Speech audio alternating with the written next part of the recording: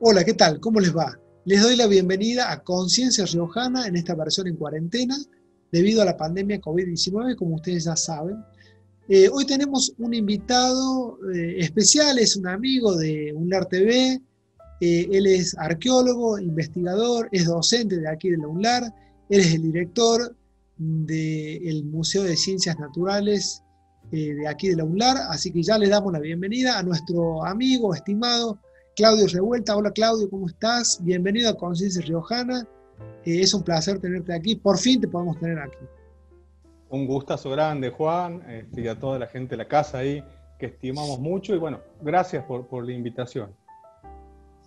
No, gracias a vos, Claudio, que tenés unos minutos como para atendernos y charlar un poco sobre el proyecto de investigación que ha sido director ejecutivo y estaría bueno que charlemos un poco sobre, bueno, el título del, proyecto es Historia y Paisaje del Valle Vicioso, aproximación a la estructuración de los espacios sociales durante los desarrollos regionales, entre el 1000 y el 1470 después de Cristo, en San Blas de los Sauces, esto es en el norte de La Rioja, en Argentina. Eh, en primer lugar, Claudio, eh, ¿dónde se ubica el Valle Vicioso en la, geografía riojana? Bueno, es, es, un término que ya cayó en desuso, ¿no? De una región. Eh, comprende lo que es en la actualidad el, departamento San Blas de los Sauces, al norte de La Rioja. Es una categoría que se usaba en el siglo XVII, sobre todo, que se denominaba esa región como el Valle Vicioso, ¿no? Este, vicioso de veraz, dice, ¿no? De, fértil. Entonces, justamente esa zona es la que está circundada por el río Los Sauces, lo cual es una, casi un río permanente, salvo algunas partes del año, y dependiendo de los sectores donde nos estemos ubicados, pero bueno, es para que todos comprendamos cuál es el Valle Vicioso o cuál ha sido el Valle Vicioso, es la región de San Blas de los Sauces. Bien al norte, porque casi colinda ya con el valle, con el bolsón de Pipanaco, por ejemplo, para que te ubiques, entonces pasando Imogasta, llegas desde Alpacinche hasta, hasta Surillaco, más o menos, es la, un faldeo de la Sierra del Velasco, ahí está todo es lo que se comprendía en aquel momento como, como Valle Vicioso. Bien, bien. Claudio, ¿a qué se refiere el concepto de desarrollos regionales? Esto que está marcado entre los periodos, entre los años de 1000 al 1470 después de Cristo, que ubica la problemática este que dicen ustedes en el, proyecto de investigación de Sanagasta Gualasto, que es el periodo de la investigación, que es el, objeto, ¿no? Bien, hace referencia eh, particularmente a una temporalidad definida dentro de la arqueología del noroeste argentino, está el tiempo, ¿no? los siglos están divididos por, por periodos, y uno de esos periodos es el periodo de desarrollos regionales o periodo tardío, que también, este, según la denominación de algunos autores, y sitúa una franja temporaria específica que va desde el 1000 después de Cristo al 1480 después de Cristo. Es decir, son casi las últimas poblaciones antes de la llegada de los incas, ¿ah? llegamos a 1480 después de Cristo, y son las sociedades que eh, continúan con lo que se conoce en el ámbito de la arqueología del noroeste argentino y de Catamarca La Rioja como de la cultura eh, aguada, que es un periodo anterior. Y eso, bueno, está dentro de la, de la arqueología de la, de la, provincia de La Rioja, ha sido en los últimos años esto ya ha ido cambiando, se ha ido, han ido creciendo las investigaciones, pero en aquel momento cuando iniciamos el proyecto, eh, estoy hablando del año 2009, este, se conocía muy poco de estos periodos en la provincia de La Rioja y particularmente en, San Blas de los Aves. Bien, bien. Em, el proyecto de investigación menciona eh, el estudio arqueológico de paisajes sociales. Eh, y abordan, o sea, lo abordan principalmente de dos disciplinas eh, que podríamos decir un poco que, van, no sé, me lo podrías confirmar vos también, de, la mano, como son la arqueología y la sociología, para el estudio de la vida social durante el segundo milenio de la era. ¿Podrías ampliar esto un poco? ¿Nos podrías contar un poco esto? Sí, sí, lo que se parte de una, de una mirada de, teórica respecto del espacio y del paisaje también muy distinto a lo que se puede entender para otras ciencias o otro tipo de arqueología.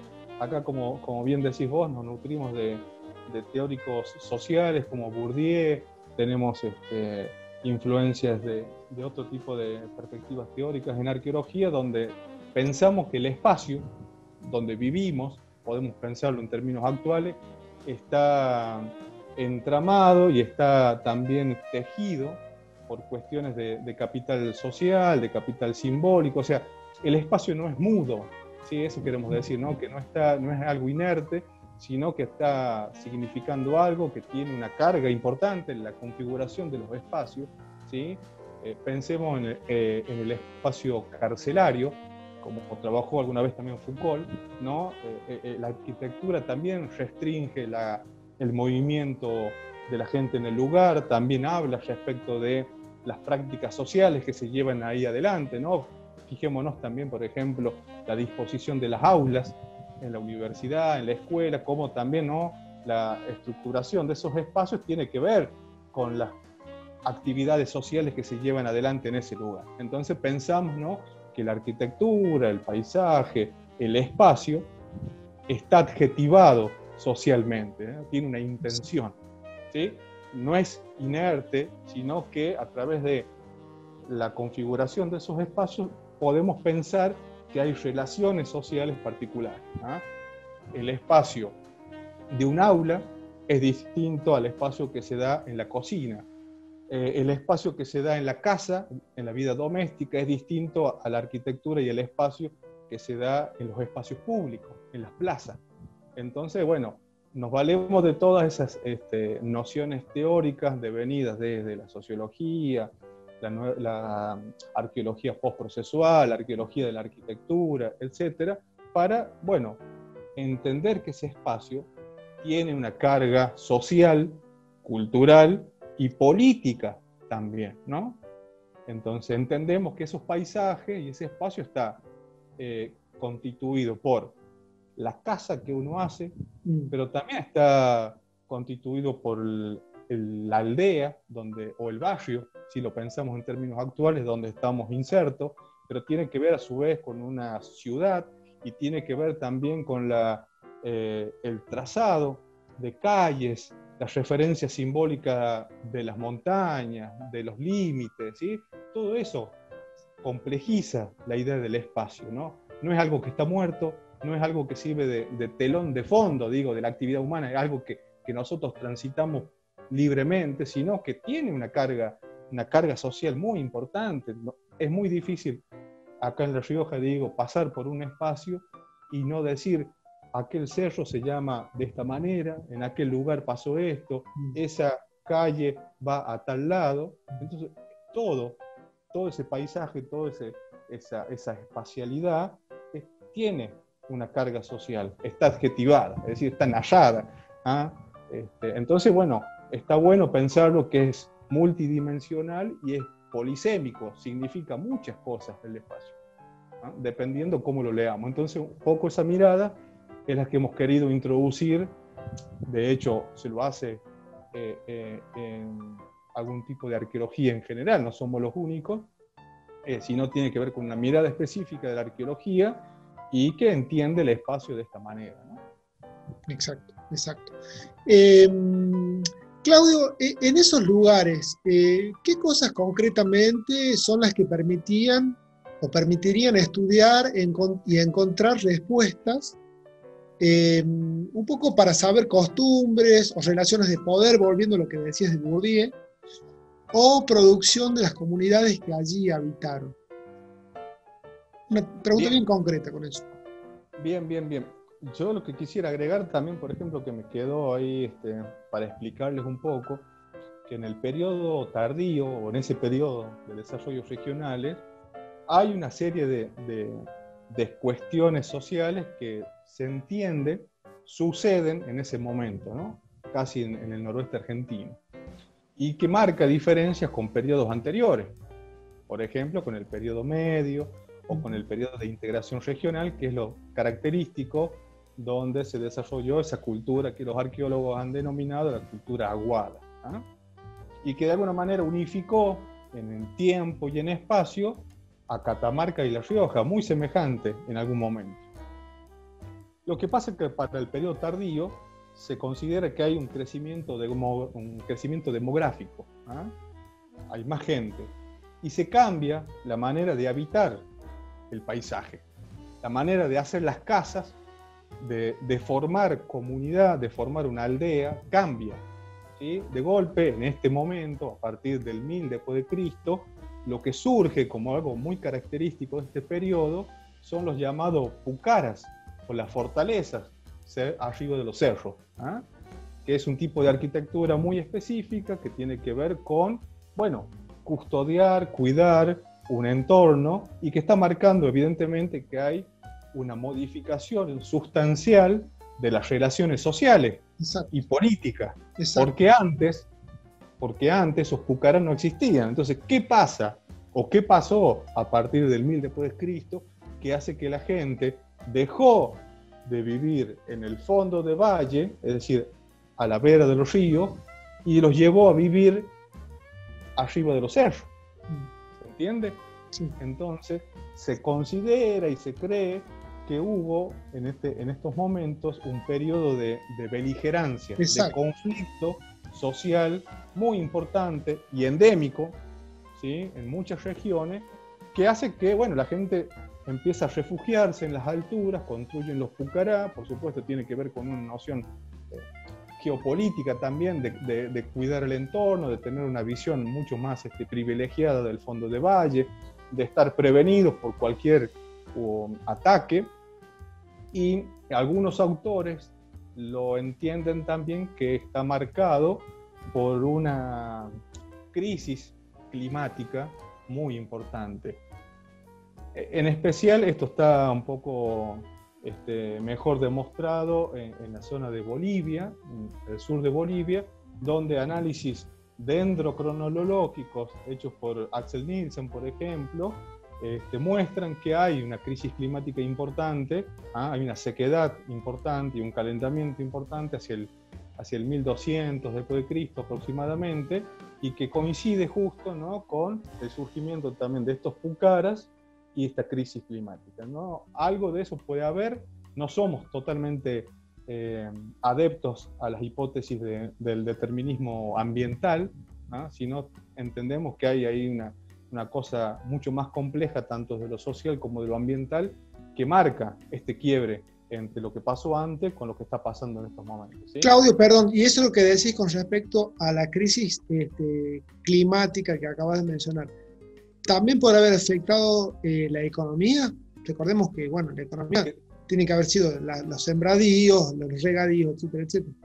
Todo, todo está concatenado, está vinculado. O sea, hay una crisis climática que está marcando que hay escasez de agua y eso también afecta a los, cultivos, a las cosechas, a la vida, a la vida en su totalidad, ¿no? La, falta de agua es, es algo muy complejo y por eso también se la defiende mucho en la actualidad, la cuestión del agua.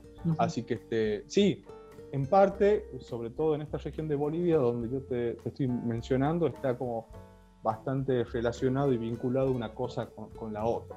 Este, nosotros acá en San Blas vemos ¿sí?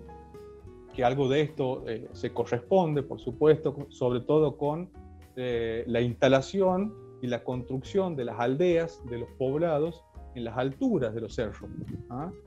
Y los fechados, los análisis que hicimos de la cerámica y de los del carbón que sacamos de los fogones, las dataciones que hicimos, los fechados radiocarbónicos, nos están mostrando que estas aldeas que encontramos en altura este, corresponden a este periodo. Tenemos ocupaciones desde el 1000 después de Cristo hasta el 1400 aproximadamente. ¿sí? Y, no encontramos otro tipo de, asentamiento humano en el fondo de valle y si no, está solamente este, relegado hacia la parte alta de los cerros. Entonces, bueno, hay un patrón de asentamiento, una forma de vivir que de golpe se vuelve característica en este momento. La gente empieza a vivir en la altura, construye su casa, su aldea en la, en la cima de los cerros, en las primeras estribaciones, ¿no? Estamos hablando aproximadamente ahí un promedio de, de 2.200 metros sobre el nivel del mar. ¿ah? Este, a la altura de lo que sería Hualco, por ejemplo, ¿ah? si alguien lo conoce, a esa altura están todos estos poblados instalados. Y hay un patrón que hemos podido identificar que tiene que ver con un poblado, ¿sí? una aldea en altura, por ahí tratamos de, no decir que son pucaras, si bien tienen algunas características de pucara de fortaleza, porque tienen en algunos casos murallas defensivas, ¿ah? hay grandes murallas que circundan todo el poblado y uno para acceder a esos lugares tiene que pasar por esos paredones, ¿no? Hay como una intencionalidad de proteger el lugar. Pero además son aldeas, porque ahí tenemos eh, espacios mucho más abiertos que parecen ser como pequeñas plazas o, como espacios públicos para congregación de mayor, mayor cantidad de gente, patios pueden ser, tenemos las residencias, las unidades domésticas, la casa, y tenemos también morteros en piedra, o sea que hay distintos elementos que, que, hacen pensar que ahí, bueno, se vivió eh, y se bajaba a buscar agua y se tenía almacenada agua en algún, en algún lugar, pero la vida doméstica cotidiana está plasmada y evidenciada ahí por distintos tipos de material. ¿ah?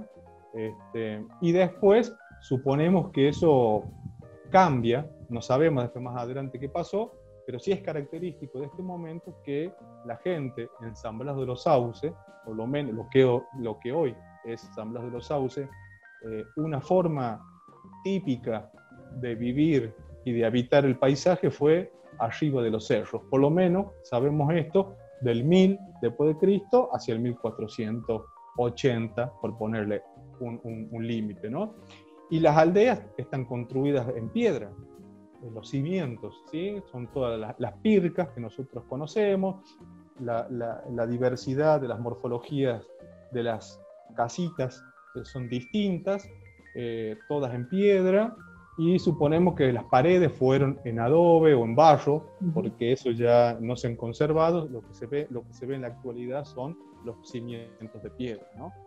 Y algo muy típico también de esto, de este momento, es que eh, a través de, te voy a pasar ahí algunas imágenes, que las casitas, las unidades domésticas están unas a otras pegadas, adosadas. Entonces, eso hace de alguna manera, ver que las relaciones entre la gente era de, de una común unión cotidiana. Así, yo, yo escucho al vecino que está hablando, mm. siento el aroma que está cocinando, la vida doméstica, la vida cotidiana de la, gente estaba ahí concentrada, todo porque las casitas están unas apiñadas al lado de la otra. En cambio, en periodos anteriores, lo que tenemos son patrones dispersos. Una casita acá, otra casita más allá, o dos o tres casitas en un lugar, después distantes por, por X este, kilómetros, está la otra casita. Entonces hay un patrón disperso.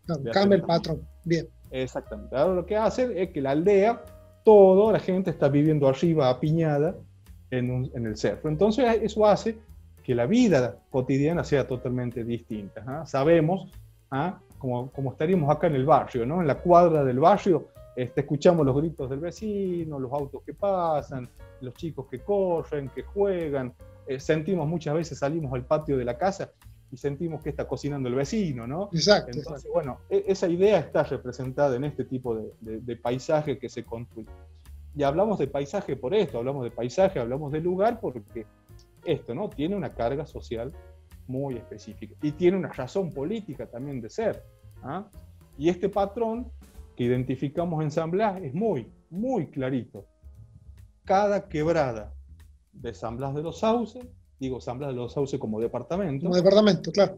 Porque sabemos que San Blas está constituido por varios pueblitos pegados a uno al lado del otro, sí. que también tiene una belleza impresionante en el sentido de los topónimos, es una de las regiones que, que guardan eh, y condensan eh, los topónimos en, cacán, en lengua eh, autóctona de esta zona. Sabemos Una región con mucha agua, ¿no? Sí, sí, entendiendo a La Rioja y pensando en La Rioja en general, sí, tenemos el río Los Sauces ahí. Entonces, para no perderme, cada quebradita de San Blas de los Sauces, pensemos en Andoluca, pensemos en, en Surillaco, en Amullina, cada uno de estos pueblitos que nosotros vemos en San Blas, en Yaqui, en Cuipán, eh, en La Plaza, o en Los Robles, o en Salicas, o en Alpacinche, todo tiene sus quebraditas. Y la mayoría tienen sus quebraditas con agua. Y cada de estas quebraditas que te estoy mencionando este, se corresponde con una aldea en la altura. ¿ah? Más o menos sería a cada pueblito que hay hoy en la actualidad, en, en San Blas de los Sauces, seguramente se corresponde arriba, en el cerro, una aldea prehispánica. ¿ah? Este, y entonces, de alguna manera, pensamos que tiene que ver con, en parte, eh, con también estar cuidando los, los lugares de acceso al, recurso hídrico, al agua, a los ríos. Por esas quebradas se accede a la zona más alta del Velasco, donde están las aguadas, donde están los pastizales, ¿ah? Donde están las nacientes de los ríos. Entonces, hay algo característico en este patrón que está mostrando esto. Cada quebradita tiene su aldea prehispánica. Exacto. ¿Ah? Exacto. Muy interesante. Eh, Claudio, ¿qué hace suponer que este estudio arroja diferencias con los espacios de la aguada? Bueno, eh, en parte lo que hace es marcar continuidades y discontinuidad también. Eh, pasa que la, la, cuestión es mucho más compleja porque no es que, acordémonos que la periodización y los periodos que se hacen en Aguada, como en arqueología, discúlpame, este, como esto, como el periodo tardío, el periodo medio, el periodo temprano, son categorías y, y conceptuales de los arqueólogos. O sea, eh, la realidad, la complejidad social es, es, es mucho mayor. Entonces, no es que empezando el periodo tardío, desaparece aquello que se entendía como aguada, sino que eso permea las barreras temporales que construyen los arqueólogos. Entonces, en la, en la realidad, en, en, eso, eso no existe, o sea, hay transformaciones, ¿no? Entonces, claro, es mucho más complejo. Entonces, eh, y encima, acá lo que se conoce por las investigaciones arqueológicas de muchos colegas es que el, la cuestión de aguada como fenómeno, digo entre comillas, porque también hay mucha discusión, suponiendo ¿no? una mirada de la arqueología mucho más, mucho más compleja, mucho más, este, mucho más dinámica, este, lo aguada continúa eh, acá en La Rioja a partir del 1000, ¿sí? Entonces, por ejemplo, las investigaciones que hace y que hizo Adriana Calegari en el Valle de Vinchina hay fenómenos de aguada hasta el 1200, 1300, en la zona de la Cuestecilla también, en la zona de Cheñarmullo, o sea que aquello que se considera como aguada todavía sigue en La Rioja en el periodo tardío. ¿ah?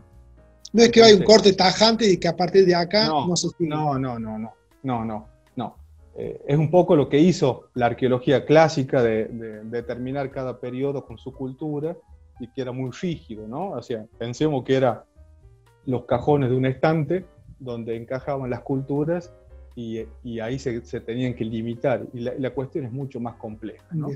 Entonces, bueno, lo que marca en este lugar es que sí, aparece vinculado a lo que pasa en otras regiones del noroeste argentino, con el fenómeno de estos, estas aldeas o los conglomerados o semiconglomerados, como se llama también algunos autores, a estas construcciones en altura, estas aldeas, y que está marcando, bueno, un patrón común de esto de tener, hay una preocupación, digo, ¿no?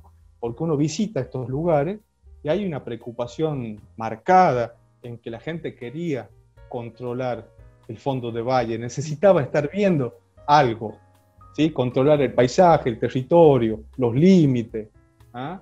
Porque uno estando desde, desde esos lugares, eh, la, la visual recurrente de estos lugares es que uno se para en las alturas, en la cima de los cerros, y lo primero que te llama la atención es cómo puedo ver yo desde ahí todo el entorno. O sea, ¿ah? puedo visualizar hasta la sierra de Copacabana, de Catamarca, la zona de Gualfín, puedo ver el, nevado del Famatina desde uno de los cerros, ¿no? Entonces puedo estar controlando de alguna manera ese lugar visualmente y también tengo vinculación visual con los otros asentamientos que están a la vuelta.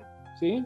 Pensemos que también en algún momento y en la actualidad también se usan, por ejemplo, las señales de las fogatas para estar marcando algún tipo, insinuando algún tipo de, acción en el, en el lugar.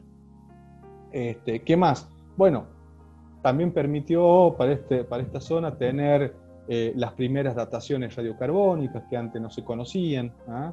Se pensaba, sí, que había ocupaciones, pero no se había tenido fechados radiocarbónicos, ¿ah? que, que, esto también hemos contribuido con, con, el proyecto. Pero bueno, además hace, hace un viraje en la actualidad también, se va concatenando con otros proyectos que tenemos en la zona, donde también ya nos alejamos un poquito de la mirada arqueológica más eh, de campo, entendido, ¿no? en el sentido de la excavación, del registro, y nos pone en conversación con la gente ahora. ¿ah? En la actualidad tenemos un proyecto que aborda las ontologías locales y que está en conversación con la gente del lugar para entender cómo se narra, cómo se concibe, cómo se entiende, cómo se vive el territorio. Y ahí... en, el, proyecto, que, en el resumen de proyecto que, que, me pasaste, me, me, gustó mucho un término que utilizaste que era narrativas arqueológicas. Eso es una cosa que me llamó la atención. ¿Puede estar este, relacionado con lo que estás diciendo ahora o, o, o, tiene que ver un poco más con historias orales que a partir de ahí este, se genera más como una tradición o una eh, atraviesa generaciones, bueno, y ahí pueden tomar un objeto de estudio ustedes. Mira, a lo que apunta con narrativa es simple y llanamente que, que, la investigación arqueológica finalmente se traduce en, un texto, mm. en, narrar. Entonces, también el texto arqueológico, la, narrativa arqueológica presupone que también sientan este, miradas respecto del mundo.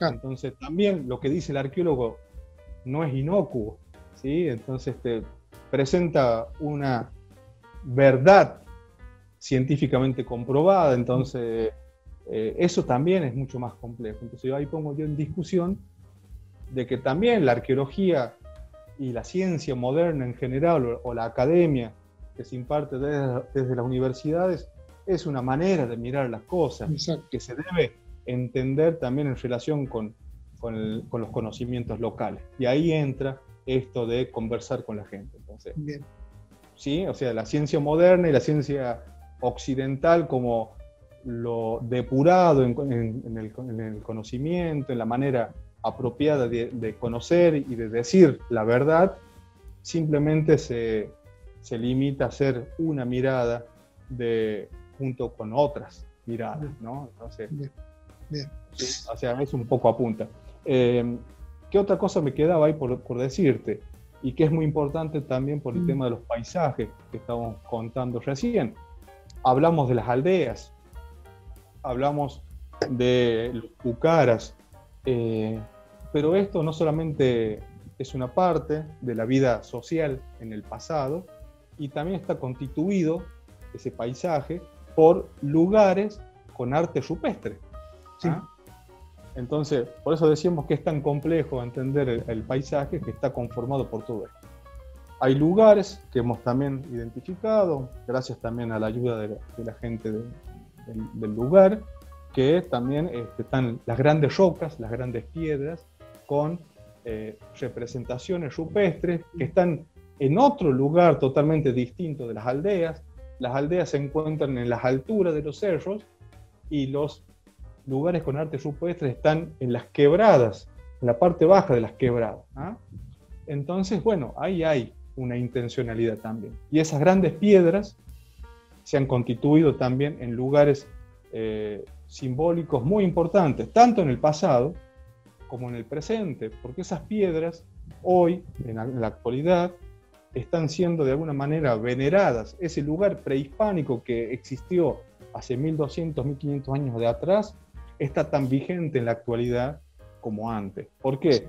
La gente, hay, hay de alguna manera un sincretismo religioso en la zona, donde esas piedras se les han puesto cruces cristianas y se le han hecho altares y se las peregrina, se las visita durante Semana Santa.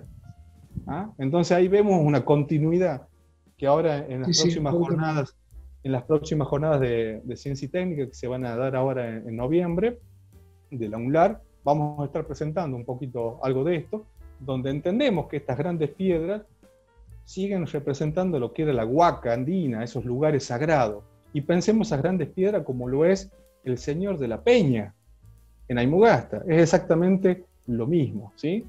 La, idea de la huaca andina está presente en estos lugares. Excelente.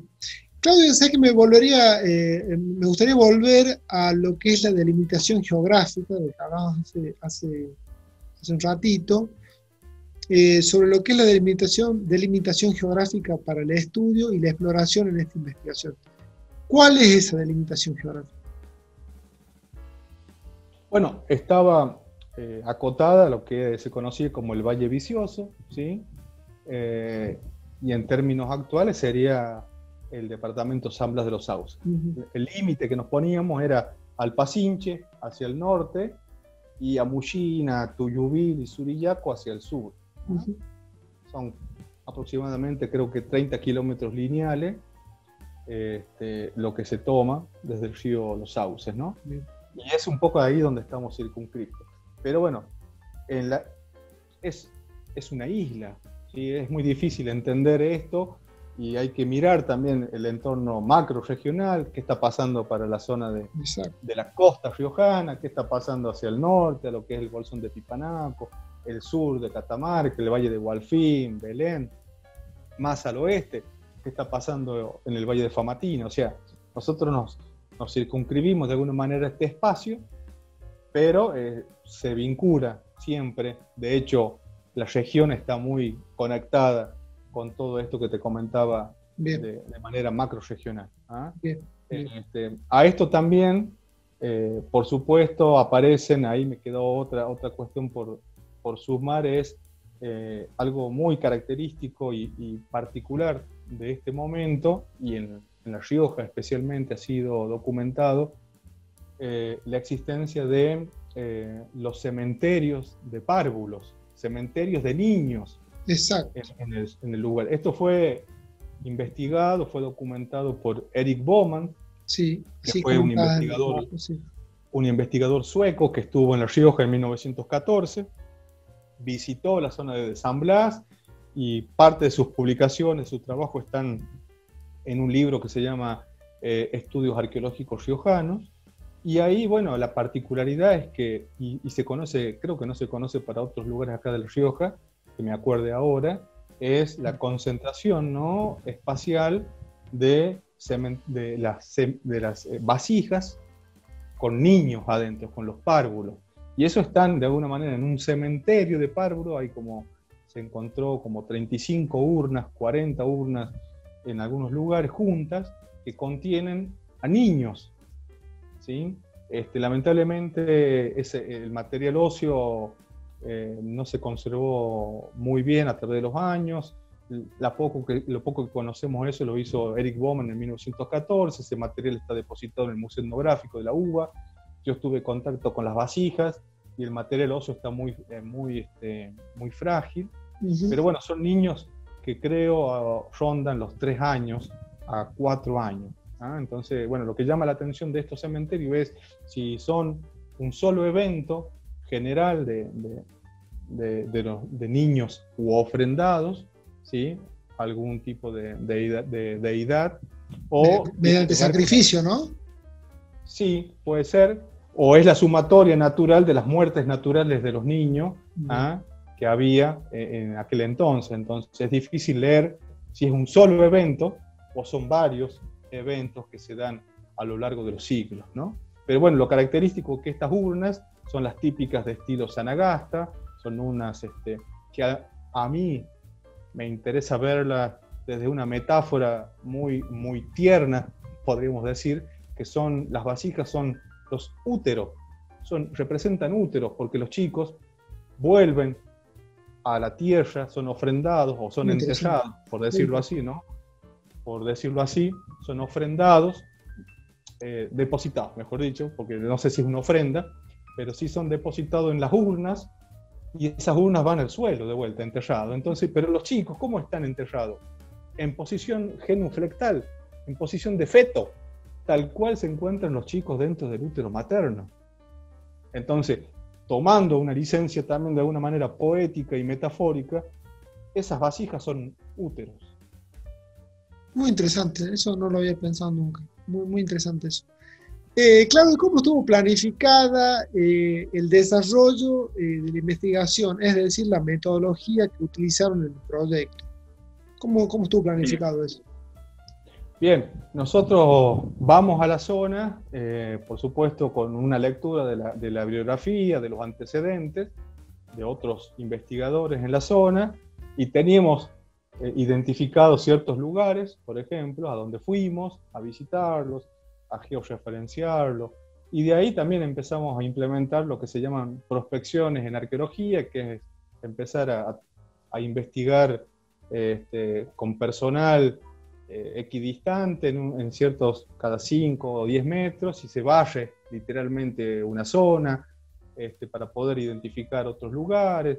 También lo que hacemos son, han sido excavaciones arqueológicas en estas aldeas, en algunas de las casas, para poder este, conocer y entender qué tipo de prácticas sociales llevaban ahí adelante en esos lugares.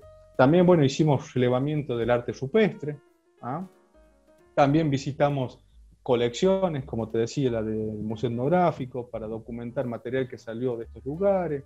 Pero además también eh, siempre presente esto es las conversaciones y las perspectivas locales sobre estos lugares. ¿no? Entonces, sí. también ¿no? entender eh, y hablar mucho con, con, la gente, que de hecho, bueno, como te mencionaba recién, el proyecto último que tenemos en la zona tiene que ver con esto, ¿no? con, con dialogar y usar el diálogo, la conversación como metodología de investigación. ¿no? También, y ahí afloran un montón de cosas que si uno lo abordara desde perspectiva arqueológica eh, más clásica o ortodoxa, se nos escaparían, ¿no? Entonces, en la narración con lo local, con la historia local, aparecen entidades no humanas, que se llama en antropología, ¿no? Hay entidades humanas y hay entidades no humanas. Es decir, estas entidades humanas pueblan el territorio. Entonces la gente nos habla del Yastay, nos habla de la Salamanca. Entonces esas entidades que aparecen en el lugar, que se conversan, que, que tienen cierta interpelación con la gente, la gente algunas veces cuenta que el Yastay le aparece en el cerro con alguna apariencia. Entonces, pero eso no es leyenda, no es mito.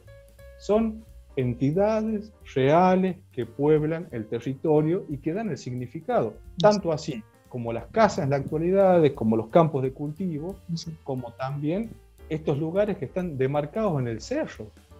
¿Ah? Entonces, de alguna manera, ¿no? Entonces, entender que esas historias están vigentes ahí y que animan, ¿ah? animan el territorio y hacen un entramado vital entre cosas humanas y cosas no humanas. ¿Ah? O sea, si uno abordara esto desde la arqueología solamente, nos quedamos muy muy escasos, muy cortos para entender la complejidad de estos territorios. Por eso hablamos de territorios también, ¿no? Bien, excelente. Claudio, eh, ¿cuál es el aporte eh, de esta investigación a la ciencia y a la sociedad? Bueno, eh, ¿qué pregunta? Te tiré una pregunta. Sí, sí, yo, es que pasa que suelo ser eh, muy em, crítico de esto de entender ¿no? nuevamente ¿no? al, conocimiento científico como el conocimiento, a la universidad o al docente como, como el portador de la verdad, ¿no? Entonces, eh, o con, una, con esa mirada este, objetiva de la realidad. Entonces yo digo siempre que, que soy totalmente subjetivo, que vivo sentipensando las cosas y que me gusta andar eh, con los pies en el barro entonces, para mí no existe la, la, objetividad científica en este sentido. De alguna manera yo creo que, bueno, esto es un, un proyecto que es del 2009, que también representa a, a otro, a otro Claudio, a otro, a otro docente que también estaba preocupado por otras cosas. Hoy el de Ya se publicó este proyecto, ¿no? Ya, sí, ya está finalizado, ya está finalizado. Este, bueno, de alguna manera lo que hace es aportar, en aquel momento era a, un periodo, al conocimiento de un periodo que no se conocía mucho en La Rioja y más para el norte de La Rioja, lo que haces también eh, de alguna manera es contribuir a documentar dentro del campo arqueológico este, distintos lugares que antes no se conocían, modalidades de arte rupestre eh, particulares para la región, este, y con un montón de otras cosas que todavía quedan ahí para, profundizar en, otros trabajos o futuras tesis de, licenciatura o otra gente que esté interesada en, varias temáticas. Excelente, excelente. Bueno, la verdad que ha sido y es un gustazo hablar con usted, amigos Revuelta, así que muchísimas gracias por su tiempo, por haber compartido eh, con nosotros eh, el trabajo de eh, El Valle Vicioso, la verdad que es muy interesante. Me gustaría seguir comenzando toda la tarde, pero bueno, este, ya estamos con el tiempo. Claudio, muchísimas gracias, como siempre. Gracias, gracias. Muchas gracias a todos. Ya nos, volvemos, nos volveremos a encontrar. Un abrazo y muchas gracias. Nosotros hemos llegado al fin de esta charla. Este, nos volvemos a encontrar en esta conciencia riojana en cuarentena. Así que muchas gracias y hasta pronto.